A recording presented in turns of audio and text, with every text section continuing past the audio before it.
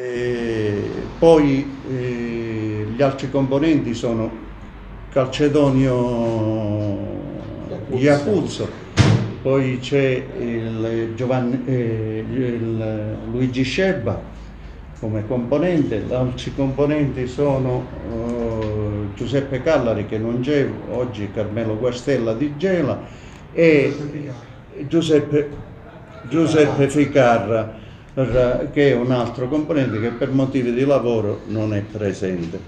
Per il resto è stata confermata la professoressa Michela Di Ganci come eh, responsabile del calcio femminile, il eh, Giovanni Seminara è sempre eh, addetto a, come fiduciario dei campi sportivi e poi non dimentico più il delegato del calcio a 5 il delegato del calcio a 5 che è di Bartolo, Davide Di Bartolo, Davide di Bartolo lo di Caltanissetta e più abbiamo la giustizia sportiva è rimasta la stessa il giudice sportivo che è l'avvocato di proietto. di proietto e il sostituto che è l'avvocato Impaglione per quanto riguarda la giustizia sportiva di altri mi pare che ci siano altri collaboratori, che siano il dottore Loporto e a Gela pure. Abbiamo l'indirizzo di saluto da parte dell'AI e poi a Roberto Bellomo, come, per, perché loro sono più di più come numero, noi siamo di più come numero. Prego, mi. Grazie, intanto buonasera a tutti, ringrazio Giorgio per l'invito graditissimo. Eh, del mio ex presidente, perché è stato mio presidente in, eh, in AIA come sezione, vi porto al saluto del mio consiglio direttivo, qui c'è un rappresentante che è il vicepresidente vicario per Palamendo e di tutto il consiglio direttivo degli associati Nissei. Eh, ho sentito Giorgio nella sua introduzione parlare più volte del concetto di squadra. Anche noi come arbitri siamo una squadra alla fine eh, anche se poi entra un singolo in campo, però di fatto siamo una squadra perché c'è un lavoro di squadra dietro. Anche noi viviamo come, come le società i problemi del territorio. Oggi ho avuto l'ultima sorpresa di un altro arbitro che è costretto a emigrare a Verona, ne abbiamo persi 35 nell'ultimo anno e la cosa che più mi lascia stupito, l'ho detto durante l'assemblea di fine anno, la cosa che mi lascia più stupito è che quando le persone se ne vanno per studiare a Bologna, a Milano, a Torino, ancora ancora lo capisco, ma quando se ne vanno a Catanzaro, a Frosinone, cioè significa che noi veramente siamo messi male. E come li cresciamo noi ragazzi e poi li perdiamo a 18-19 anni, così succede nelle società. E quindi unendo la, la scarsa natalità al fatto che qui non riusciamo a trattenere le nostre migliori risorse, purtroppo ci troviamo in questa situazione. Io sono contento di essere qua perché e come eh, dice il nostro caro Alfredo, responsabile del settore tecnico arbitrale, Alfredo Trentalange, si cresce più per confronto che per didattica e quindi il confronto con le società è un momento di crescita fondamentale per quanto mi riguarda. Ehm, l'errore da parte tecnico, da parte dell'arbitro c'è sempre stato, ci sarà, non lo potremo mai eliminare. E quello su cui non tollererò assolutamente sono i comportamenti e su quello chiedo la collaborazione di tutti, perché lì dobbiamo scambiarci delle informazioni, perché se ci sono dei momenti di, eh, comportamentali da dover sistemare, dobbiamo evitare le tensioni perché il concetto di squadra deve investire tutti. D'altro canto io spiego sempre agli arbitri che senza società non possono arbitrare nulla dico pure alle società che senza arbitri non si può fare nulla, dico pure a tutti noi che siamo una squadra che senza impianti sportivi non si può andare a fare le partite, perché poi siamo sempre là. Eh, io come voi vediamo gli impianti fatiscenti, eh, vediamo delle, de, delle strutture dove veramente i nostri ragazzi, i nostri ragazzi fanno fatica pure ad andarsi a spogliare. Però questo è.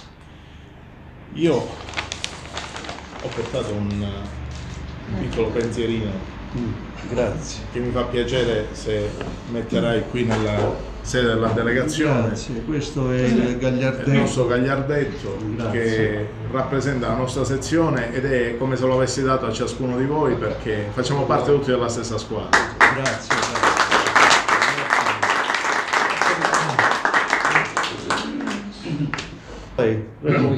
Vabbè, io oh, buonasera a tutti, ringrazio il Presidente Vitale per l'invito, porto il saluto alle mie cariche istituzionali, eh, c'è anche qui il Presidente Provinciale che mi segue da giovane, quindi sta invecchiando con me.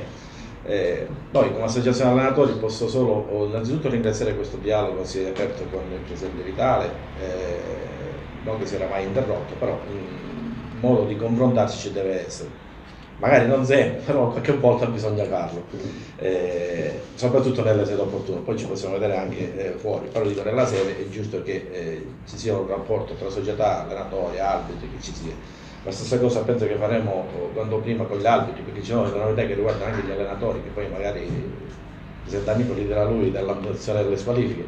Io posso solo dire che adesso c'è, per quanto riguarda le figure degli allenatori, c'è l'obbligatorietà in quasi tutte le società, una cosa voluta e cercata da anni, Purtroppo in tante società ancora si rappezza con figure non professionali, quindi la crescita non c'è.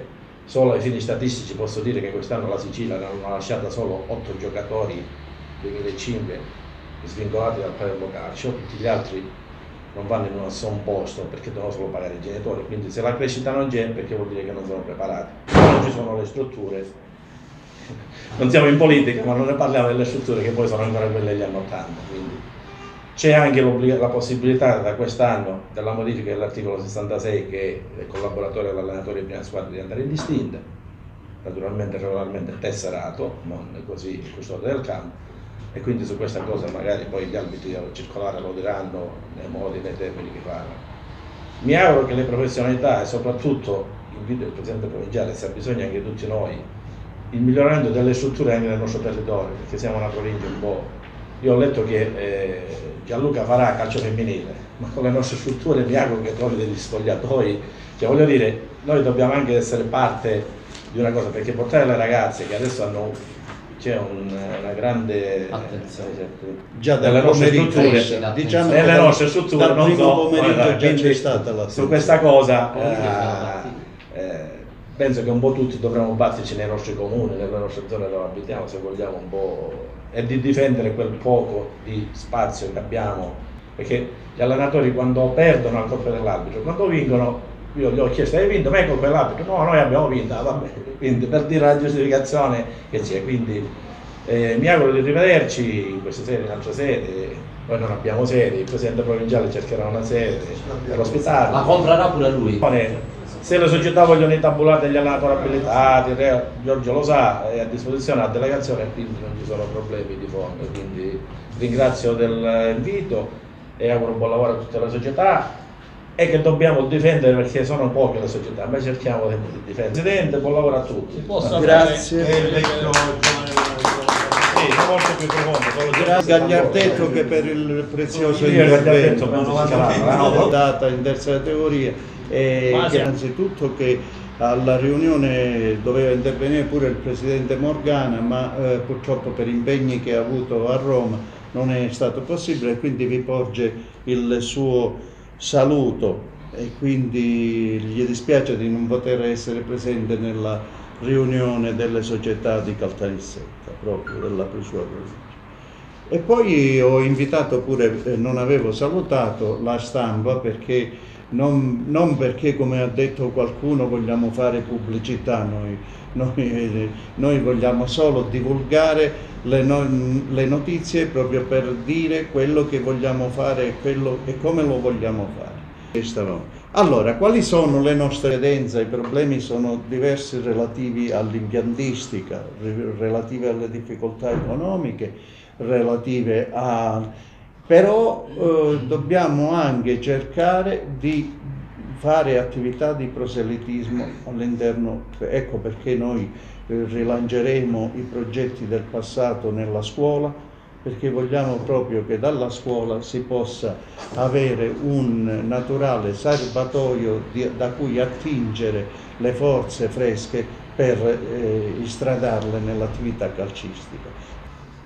Altra cosa che quest'anno vorremmo noi instaurare ancora di più è quella di sviluppare ulteriormente l'attività regolamentare con l'Associazione Italiana Arbitri, perché ad esempio ogni anno ci sono delle modifiche regolamentari che mm, sono notevoli, quindi abbiamo già in programma con eh, Bellomo e, Farra, e, Ferra, e, Natale Ferrante come responsabile della provincia, abbiamo già in programma eh, nei prossimi giorni, prima della fine del mese di settembre, una riunione tra la,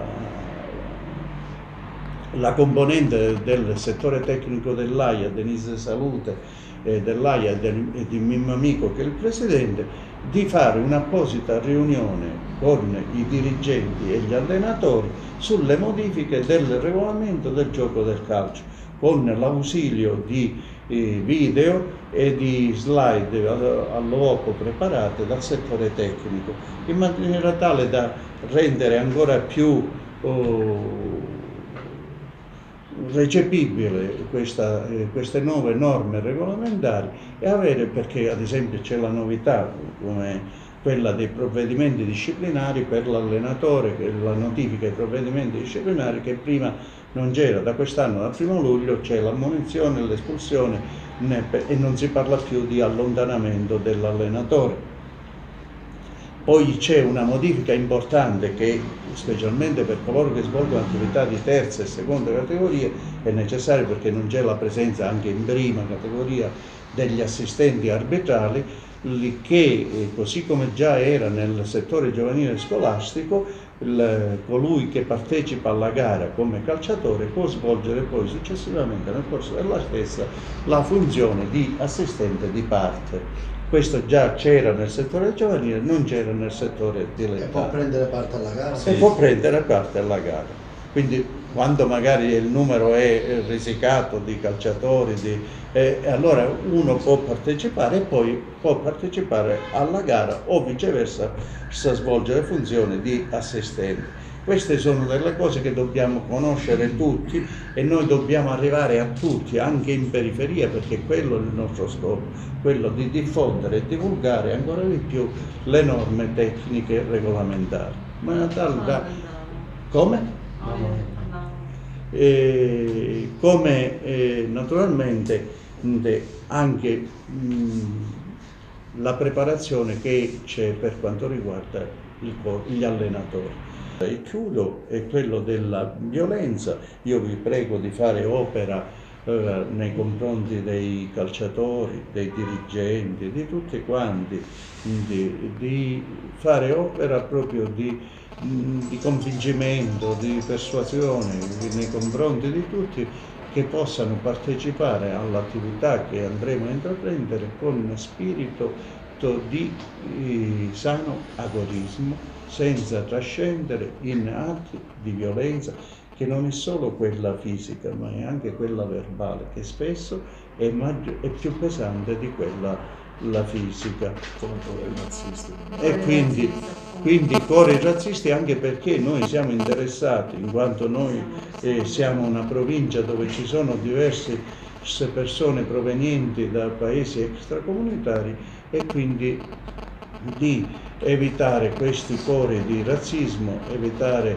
per, perché tutti quanti siamo uguali. E io avrei terminato perché questi sono alcuni, perché ripeto voglio sentire voi dalla vostra voce cioè magari facciamo in ordine se c'è qualcuno quello di dare comunque più immagine al comitato alla, a tutte le squadre della provincia eh, stiamo un minuto articolando e capendo come possiamo e poi vi contatteremo in prima persona. Eh, se c'è qualche spunto, qualche idea da parte vostra, siamo anche qui per questo. Roberto. Ah no, vabbè, l'ho detto già tu. Luigi? Giorgio.